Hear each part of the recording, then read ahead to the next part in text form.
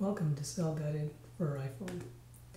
Launching the app signs you into your account once you've created one and retrieves tours and treasure hunts that are local to your location.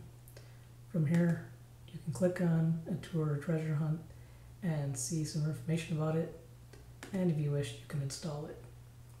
Once installed, it'll appear here in the Play tab, and here you can click on a tour or treasure hunt and actually start following it viewing the directions and clues, and then entering the answer.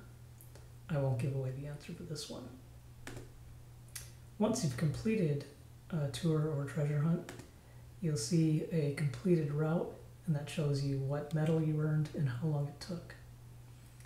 In addition, if a tour or treasure hunt should change, you'll be notified that an update's available, and you can click on it and click the update button